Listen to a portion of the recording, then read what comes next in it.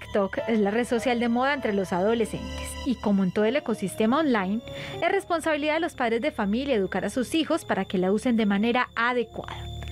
Como en la gran mayoría de redes sociales, en esta aplicación se expone visualmente el día a día de los usuarios y acciones vinculadas con su vida privada.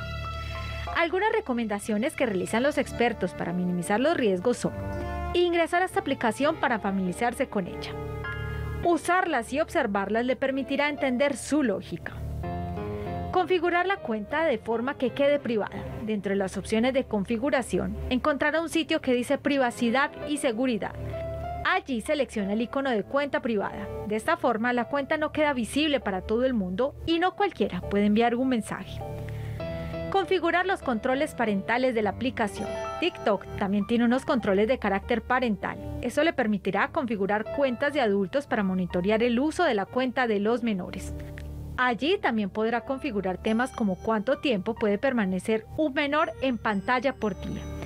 Establecer el modo restringido para los contenidos no aptos de niños y adolescentes. Esto le permitirá reducir esa exposición al riesgo.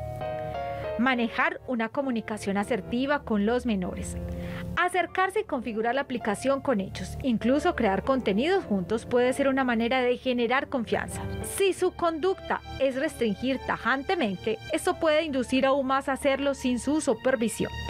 Por esto es clave un lazo estrecho con los menores.